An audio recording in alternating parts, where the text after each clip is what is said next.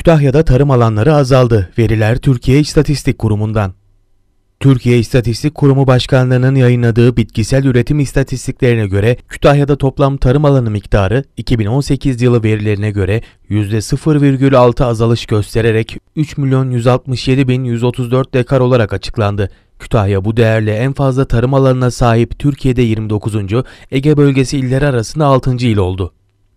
2018 yılı geçici verilerine göre Kütahya'daki tarım alanlarının %77,3'ünü tahıllar ve diğer bitkisel ürünlerin ekilen alanı, %17,5'ini nadas alanı, %2,1'ini sebze bahçeleri alanı ve %3,2'sini meyveler, içecek ve baharat bitkilerinin alanı oluşturdu. Ege bölgesi genelinde ise toplam tarım alanı miktarı 2018 yılı verilerine göre %0,3 artış göstererek 27 milyon 655 bin 364 dekar oldu. Ege bölgesi illerine bakıldığında toplam tarım alanı en büyük olan il Manisa olurken toplam tarım alanı en küçük olan il ise Uşak olarak açıklandı.